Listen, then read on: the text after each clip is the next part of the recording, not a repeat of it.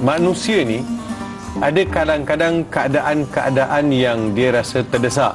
So untuk melepaskan diri daripada daripada uh, sesuatu cengkaman hmm. maka dia create satu cerita, dia yeah. create satu alasan.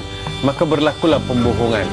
Pembohongan ini dia akan menghilang akan menghilangkan izzah seseorang, akan menghilangkan kemuliaan seseorang, akan menghilangkan uh, keberkatan dalam hidup. Hmm.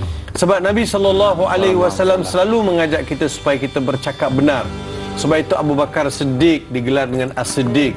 Yusuf alaihi assalam. Yeah. Nabi Yusuf digelar dengan Siddiq.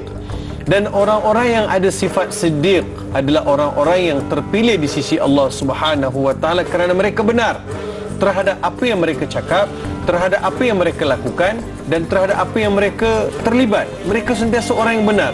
Jadi orang yang benar ini dia tak akan rugi.